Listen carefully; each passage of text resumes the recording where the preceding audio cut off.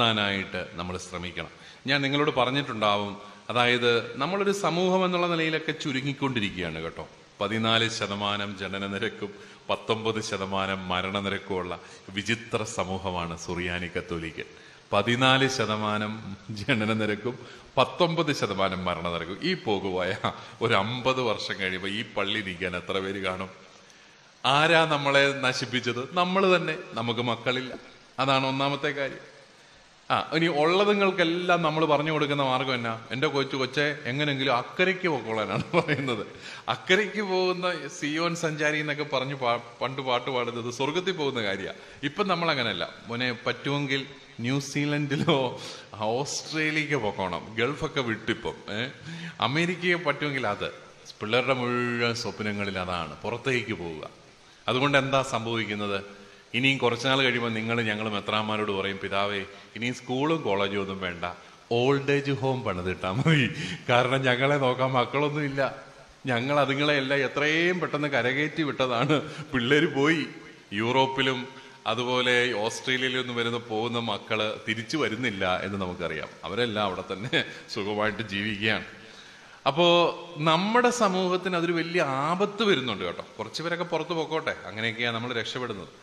പക്ഷെ നന്നായിട്ട് പഠിക്കാൻ കഴിവുള്ള പിള്ളേർ ഇതിനകത്തൊക്കെ ഇരിപ്പുണ്ട്. നല്ല തലയുള്ള പിള്ളേർ അവർക്കൊക്കെ എന്തുകൊണ്ട് ഇവിടെ തന്നെ ഒന്ന് നിന്ന് ഈ മത്സര പരീക്ഷകളൊക്കെ എഴുതിയെടുത്ത് ഇവിടെ തന്നെ നല്ല ജോലിയൊക്കെ സമ്പാദിച്ച് നിൽക്കാത്ത എന്നോട് കുറേ ചെറുപ്പക്കാർ പറഞ്ഞു പിതാവേ സംവരണം ഇല്ലാത്തതുകൊണ്ടാണ് ഞങ്ങൾക്കൊന്നും ജോലി കിട്ടാത്തത്. ഞാൻ അതിന്റെ കണക്കെടുത്ത് നോക്കിയപ്പം സർക്കാർ സർവീസിൽ ഏറ്റവും കൂടുതലുള്ളത് നായർ സമുദായ അംഗങ്ങളാണ് നായന്മാരാണ് ഇതെങ്ങനെ സംഭവിച്ചെന്നറിയാൻ ഞാനൊരു നായർ സമുദായത്തിന് നേതാവിനോട് ചോദിച്ചപ്പോൾ അവർ പറഞ്ഞു പിതാവേ നിങ്ങളെപ്പോലെ ഞങ്ങൾ ഈ പുറത്തോട്ട് പോകണമെന്നുള്ള ആഗ്രഹമൊക്കെ കുറവാണ് ഞങ്ങൾ കുഞ്ഞുങ്ങളോട് പറയുന്നത് പത്താം ക്ലാസ് കഴിയുമ്പോഴേ മോനെ എങ്ങനെങ്കിലും എടാ ഒരു മത്സര പരീക്ഷ എഴുതി ആ പി എസ് സിയുടെ പുസ്തകം മേടിച്ച് പഠിച്ച് ഒരു പരീക്ഷ എഴുതി ഇവിടെ കാണാൻ നിൽക്കുക അവൻ അത് തുടങ്ങുക പത്താം ക്ലാസ് കഴിയുമ്പോഴേ.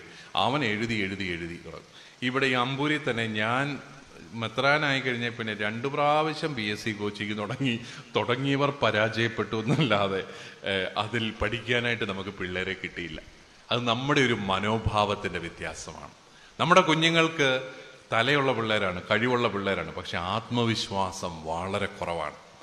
നമ്മുടെ കമ്മ്യൂണിറ്റി എന്നുള്ള നിലയിൽ നമ്മൾ നിങ്ങൾ എപ്പോഴും ഓർക്കണം ഈ സമൂഹത്തിന് പ്രത്യേകിച്ച് ഒരു ഇരുപത്തിയഞ്ച് മുപ്പത് വർഷങ്ങൾക്ക് മുമ്പ് വരെ ഈ സമൂഹത്തിന് എല്ലാ മേഖലകളിലും നേതൃത്വം കൊടുത്തുകൊണ്ടിരുന്ന സമൂഹമാണ് നമ്മൾ കത്തോലിക്ക സഭ.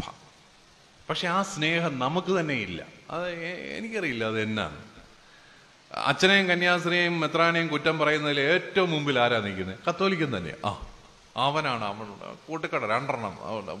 നോക്കിയപ്പോൾ ആരാണ്ട് എറിയുന്നത് എന്നാ എന്റെയും കൂടെ വക രണ്ട് ഏറും കൂടെ എറിഞ്ഞേക്കാം എന്നും പറഞ്ഞുകൊണ്ട് പോയി. ഇത് എന്തിനാ എറിയുന്നോ എന്താ കാര്യം നമ്മൾ നോക്കാറില്ല. ഞാൻ ഈ പറഞ്ഞു വരുന്നത് നമ്മുടെ സമുദായത്തിന്റെ താല്പര്യങ്ങൾ. ഇപ്പം നമ്മുടെ ഇവിടെ വന്യമൃഗ ശല്യമുണ്ട് ആരാ ഇതിനു വേണ്ടിയിട്ടൊക്കെ പരിശ്രമിക്കുന്നത് ആരാ ഇതിനു വേണ്ടി സംസാരിക്കാനായിട്ടുള്ളത്? ഇവിടെ ഇ എസ് എയുടെ ഇ എസ് ഇസഡിന്റെയും പ്രശ്നം വരുന്നു. ആരാ നമുക്ക് വേണ്ടി സംസാരിക്കാനുള്ളത്? നമുക്കറിയാം ക്രൈസ്തവർ തിങ്ങിപ്പാർക്കുന്ന പ്ലാന്റേഷൻ മേഖലകളെ കുറിച്ച് ഒരു നടപടി എടുക്കാനായിട്ട് ഒരു മുന്നണിയും തയ്യാറാകാത്ത വിചിത്രമായ അവസ്ഥയിൽ എത്തിച്ചത് ആരാണ്? നമ്മൾ തന്നെയാണ്. നമ്മൾ രാഷ്ട്രീയമായി ഒരു ശക്തിയില്ലാത്ത സമൂഹമായിട്ട് മാറി. നമുക്ക് ആളുമില്ല അർത്ഥവുമില്ല നമ്മുടെ പൊതുപ്രസ്ഥാനങ്ങളെ നമ്മളോട്ട് വിജയിപ്പിക്കത്തുമില്ല. ഞാൻ ഈ പറഞ്ഞു വരുന്നത് ഈ ദീപിക എന്ന് പറയുന്ന ഒരു ദിനപത്രം നമുക്കുണ്ട്. കത്തോലിക്കനെല്ലാം കൂടെ വാശിക്ക് അതിനെ കുറ്റം പറയുക. ഓ ഓ, ഇത് ശരിയല്ല പത്രം ശരിയല്ല. ഭയങ്കര സ്റ്റാൻഡേർഡ് വേണം കത്തോലിക്കന്. സ്റ്റാൻഡേർഡ് പത്രമേ അവൻ വായിക്കത്തുള്ളൂ. ദീപികയ്ക്ക് സ്റ്റാൻഡേർഡ് ഇല്ല നാം പറയുന്നു വെറും മുക്കാൽ മണിക്കൂറാണ് നമ്മൾ രാവിലെ പത്രം വായിക്കുന്നത്. പത്രം വായിച്ചു കഴിഞ്ഞാൽ പിന്നെ ആ കടലാസിന് ഒരു വിലയില്ല. ആ മുക്കാ മണിക്കൂർ വായിക്കുന്ന പത്രം എന്നാൽ എന്റെ സമുദായത്തിന്റെ പത്രം ഒന്ന് വരുത്തി സമുദായത്തെ ഞാനൊന്ന് വളർത്തിയേക്കാം. കാരണം എന്റെ നാട്ടിൽ വന്യമൃഗങ്ങൾ കയറുമ്പോഴും അതുപോലെ ഈ പരിസ്ഥിതി പ്രശ്നങ്ങൾ ഉണ്ടാകുമ്പോഴും കാർഷിക പ്രശ്നം ഉണ്ടാകുമ്പോഴും ഈ പത്രം മാത്രമേ ഉള്ളൂ പറയാനായിട്ട്. അന്തസ്സായിട്ട് നിന്ന് പറയാൻ. പക്ഷെ നമ്മൾ പ്രോത്സാഹിപ്പിക്കുക അതാണ് ഈ കത്തോലിക്കന്റെ ഒരു സ്വഭാവം. നമുക്ക് നമ്മളെ വളർത്താൻ അറിയത്തില്ല പ്രിയപ്പെട്ടവരെ. അതുകൊണ്ട് അതിനെക്കുറിച്ച് നിങ്ങൾ ഗൗരവമായിട്ട് ചിന്തിക്കണം എന്നാണ് എനിക്ക് പറയാൻ. നമ്മുടെ സമൂഹത്തെ നമ്മൾ വളർത്തണം. അത് ദീപിക പത്രം വളർത്തിയ ഉടനെ സമുദായം വളർന്നു നിങ്ങൾ ചോദിക്കും. അതിന്റെ ഒരു പ്രധാനപ്പെട്ട ഘടകമാണെന്ന് ഞാൻ പറഞ്ഞു. നമ്മുടെ ശബ്ദമാണ് പൊതുസമൂഹത്തിലെ നമ്മുടെ ശബ്ദമാണ് ഈ പത്രം.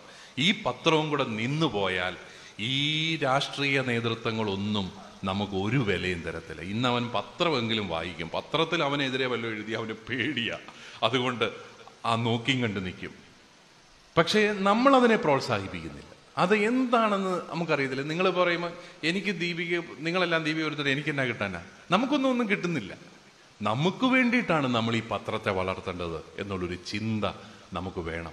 അതുകൊണ്ട് നിങ്ങൾ അതിനെ കുറച്ച് ഇപ്പം ഞാനിത് പറഞ്ഞു കഴിയുമ്പോൾ കുറച്ച് പേര് കുത്തിയിരുന്ന് എന്നെ കുറ്റം പറയും വീടുകളിൽ മിക്കവാറും അതിന് സാധ്യതയുണ്ട്. ആ പിതാവ് അങ്ങനെ പറയേണ്ട കാര്യമില്ലല്ലോ എന്നാത്തിനാ പറയാം നമ്മുടെ നമ്മുടെ സ്വാതന്ത്ര്യമല്ലേ ഇതൊക്കെ എന്നൊക്കെ പറഞ്ഞ് നമ്മൾ പറയും. സ്വാതന്ത്ര്യമൊക്കെ ജീവിച്ചു. പക്ഷെ കുറച്ചാൾ കഴിയുമ്പം നമ്മുടെ ഈ ഇരിക്കുന്ന കൊമ്പ് കാണുമോ എന്നുള്ളത് ഒന്ന് അന്വേഷിക്കണം എന്ന് മാത്രമേ ഉള്ളൂ. അതുപോലെ തന്നെ നമ്മുടെ കുട്ടികൾ നല്ല മിടുക്കരായ കുട്ടികൾക്ക് ഇവിടെ തന്നെ പഠിക്കാനൊക്കെയുള്ള സ്കോളർഷിപ്പുകളൊക്കെ ഏർപ്പെടുത്താനും ഒക്കെ നിങ്ങൾക്ക് സാധിക്കണം. നമ്മുടെ കുഞ്ഞുങ്ങൾ നല്ല മിടു മിടു മിടുമിടുക്കരായ കുട്ടികളുണ്ട്. അവരൊക്കെ നമ്മുടെ നാട്ടിൽ തന്നെ അഭിമാനകരമായ ജോലികളിൽ കടന്നു വരണം.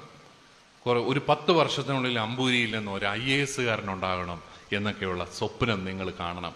ഈ പൊതുയോഗത്തിലും പ്രതിനിധി യോഗത്തിലും എല്ലാം എന്നാ മതിൽ പൊളിച്ചു കെട്ടുന്നതും സ്റ്റെപ്പ് ഇടുന്നതും അവിടെ ഇവിടെയും ടൈലിടുന്നതും അപ്പുറത്തെ റബ്ബർ മുറിക്കുന്നതും മാത്രം ചർച്ച ചെയ്ത് അതിന്റെ കണക്കും ചർച്ച ചെയ്തുകൊണ്ട് ഇരുന്നാൽ പോരാ. ആ കാലം കഴിഞ്ഞു.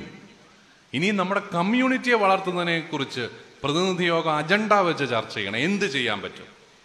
അതുപോലെ പൊതുയോഗം കൂടി ചർച്ച ചെയ്യണം. നമ്മുടെ സമൂഹത്തിൽ നമുക്ക് നമ്മുടെ കുഞ്ഞുങ്ങൾ നമുക്ക് ഇത്രയും പിള്ളേരുണ്ട്. ഇത്രയും നന്നായിട്ട് പഠിക്കുന്ന കുഞ്ഞുങ്ങളുണ്ട്. അവരെ നമുക്ക് എങ്ങനെ പ്രോത്സാഹിപ്പിക്കാൻ പറ്റും? ഇതൊക്കെയാണ് പൊതുയോഗം ചർച്ച ചെയ്യേണ്ടത്. അല്ലാതെ അവിടെ ഇവിടെ അതും ചെയ്തു ഒരുത്തിന് എന്തെങ്കിലും പറഞ്ഞു വികാരിച്ചനെ നമുക്കൊന്ന് മുട്ടുകുത്തിക്കാനുള്ള നല്ല അവസരം. പാടാ നമുക്ക് മുട്ടുകുത്തിക്കാം. അങ്ങനെ പൊതുവേ മുട്ടയിലാണ്. കുഴപ്പമൊന്നുമില്ല.